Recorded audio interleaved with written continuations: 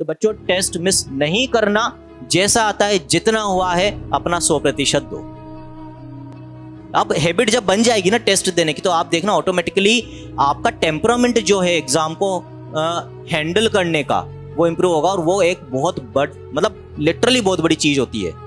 मैंने इतने सारे बच्चे देखे हैं, इतने सालों में, पूरे साल बहुत अच्छा परफॉर्म करते हैं क्लास में बहुत अच्छा रहते हैं, जवाब देते हैं, उनको चीज़ें याद होती है एग्ज़ाम के दिन पता नहीं क्या होता है, सब कवाड़ा करके आ जाते हैं। और आपने भी ये चीज़ सुनी होगी और सुनी होगी, देखी होगी, सब कुछ इस तरह के बच्चे होते हैं। पूरे साल बहुत अच्छा उनसे एक्सपेक्टेशन सबको बहुत होती, खुद से उनको खुद की एक्सपेक्टेशन बहुत होती है। वो आकर ही कहते हैं कि, सर, पता नहीं, पूरे साल सब कुछ अच्छा चला, सब बढ़िया हो रहा था। लास्ट में एग्ज़ाम के दिन ब्लैंक हो गया। याद ही नहीं आ रही थी चीज़ें। वो कुछ नहीं है दैट इज़ स्ट्रेस उनको स्ट्रेस हैंडल करना नहीं आया। सब कुछ सीख लिया लेकिन स्ट्रेस हैंडल करना नहीं सीख